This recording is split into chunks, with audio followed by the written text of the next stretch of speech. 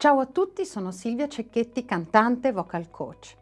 Quante volte vi è capitato di ascoltare qualcuno o che stia parlando oppure che stia cantando o un rapper e magari ascoltare qualcosa che veramente ci interessa e ci piace e non riuscire a seguirlo perché è noiosissimo. A volte capita con i cantanti, a volte capita con un professore, a volte può capitare con un rapper, con qualcuno che fa spettacolo, beh, vi assicuro che a volte purtroppo capita anche nei vostri confronti. Al di là dei contenuti, che do per scontato che siano interessanti, abbiamo bisogno ogni tanto di catturare, di tenere viva la curiosità di chi ci sta ascoltando. Ci sono tre parametri fondamentali, molto facili da usare, sia per chi canta, e poi ne parleremo, ma anche per chi parla e anche per chi fa rap. Ritmo, volume, altezza. Parliamo del ritmo e come scansionare le sillabe, cioè io posso parlare più lentamente per magari enfatizzare quello che sto dicendo oppure posso, posso oppure posso parlare più velocemente e dare un po' più ritmo a quello che sto dicendo, cioè eh, tenere viva la curiosità, ma ricordatevi che la cosa ideale è cambiare il ritmo in modo da essere a volte più veloci e a volte un pochino più lenti. E questa è la prima cosa che ora vediamo nel parlato e poi lo vediamo anche nel cantato. Il volume è un po' più complesso e faccio un video soltanto sul volume perché è una parte molto interessante e indispensabile per chi canta e per chi fa rap, comunque per chi usa tanto la voce. Però, tanto così per essere un po' veloci, immaginate di avere una manopola qui da, da muovere e di andare dall'1 al 5, dove l'1 ovviamente è un volume basso e 5 è un volume alto, ricordatevi che non vuol dire fare questa cosa, che questa è l'altezza della nota, un'altra roba. Il volume è qualcosa che serve sempre per mantenere la curiosità, sempre per creare quei cambi necessari in chi ci ascolta, per rendere sempre la nostra conversazione un po' più pepata.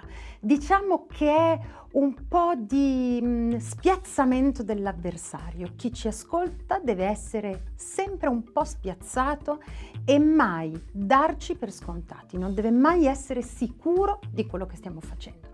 Poi c'è l'altezza, l'altezza della nota, quindi possiamo usare semplicemente una nota alta oppure una nota più bassa, più profonda, come vogliamo noi. Ovviamente per quanto riguarda il canto, sulla nota, beh, non è che si possono cambiare, c'è una melodia stabilita e quella è la nota che dobbiamo fare.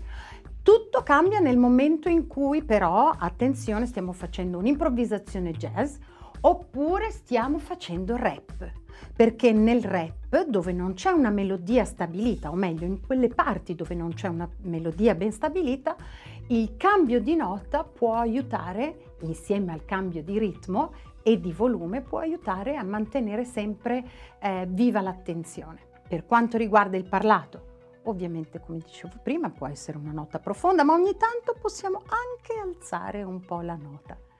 Mi raccomando, tutto questo senza mai urlare o gridare, perché altrimenti tutti questi piccoli trucchi diventano un pessimo modo di usare la voce, diventano fastidiosi, ma soprattutto fanno male alle corde vocali perché si usano dei muscoli che mm, non vanno mica tanto bene. Allora, parlavamo di ritmo e poi lo vedremo anche nel canto, parlavamo di altezza di nota e abbiamo parlato di volume. Ora l'ideale è usare questi tre strumenti insieme in modo da mischiarli continuamente e anche per quanto riguarda il ritmo, ricordatevi che è fondamentale cambiarlo spesso. Passiamo al cantato. Per quanto riguarda il ritmo, al di là di quello che è già stato stabilito, quindi che è stato scritto e che è eh, su un pentagramma che è la melodia e non possiamo cambiarla perché così è la canzone e da lì non ci possiamo muovere, in realtà eh, c'è una cosa che si chiama fraseggio, cioè il modo di dire quella frase, il modo di scandire le sillabe. E per fare un esempio io posso dire sai, la gente è strana, ma posso anche dire, sai, la gente è strana, oppure, sai, la gente è strana. Questi sono diversi modi di dire la stessa frase. Una regola fondamentale per chi canta è non usare sempre lo stesso fraseggio nelle stesse celle, cioè quando si scrive eh, si dice si scrive per celle ritmiche melodiche. Um, faccio un esempio um, diverso. Ok, questa qua. Pa pa pa pa pa pa pa pa pa prima cella. Pa pa pa pa pa pa pa pa pa seconda cella. Pa pa pa pa pa pa pa pa pa terza cella che è uguale alla prima. Pa pa pa pa pa pa pa pa pa, quarta cella che è uguale alla seconda. Quindi quando si scrive una canzone, ad esempio, le celle vengono ripetute spesso.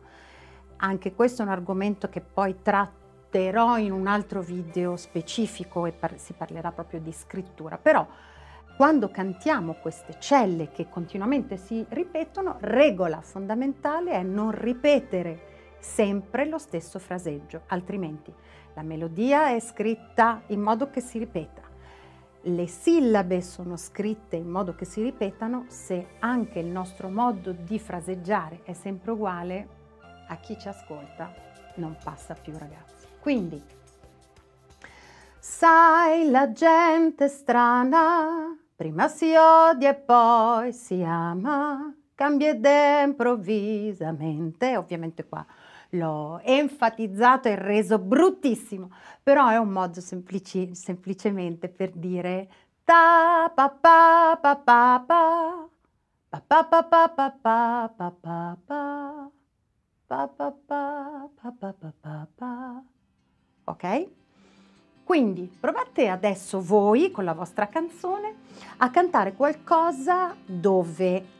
è evidente la ripetizione delle celle, ripeto, tutte le canzoni hanno celle che si ripetono, ma provate a fraseggiare in modo diverso e forzatamente all'inizio cambiate il modo di fare le sillabe e poi vedrete che piano piano vi verrà sempre più spontaneo.